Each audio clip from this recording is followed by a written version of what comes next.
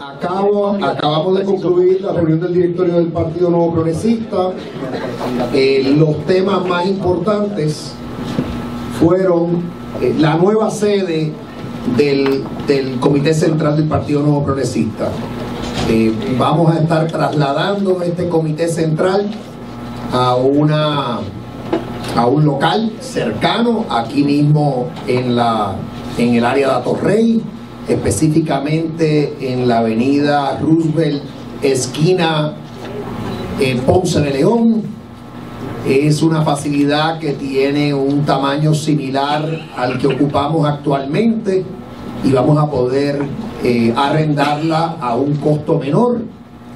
Eh, el plan es que podamos inaugurar esa nueva sede el día 4 de julio conmemorar no solo la, independencia de los Estados Unidos, sino este paso que estamos dando. Es una facilidad muy cómoda, tiene amplia, tiene una buena área de estacionamiento, un terreno, un solar aledaño que también podemos utilizar para estacionamiento, son tres pisos.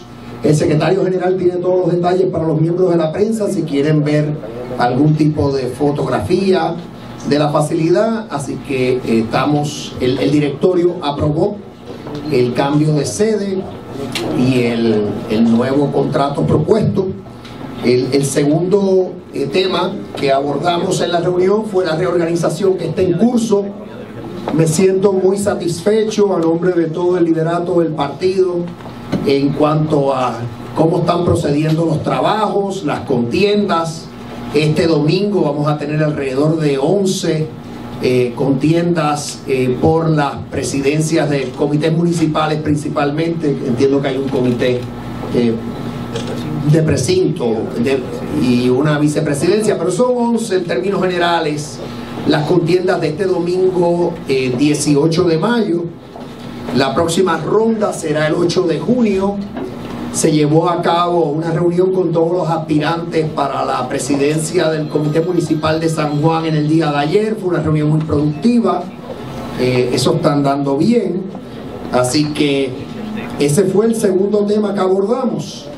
Eh, de igual manera, el director ejecutivo de Misión Estadista rindió un informe.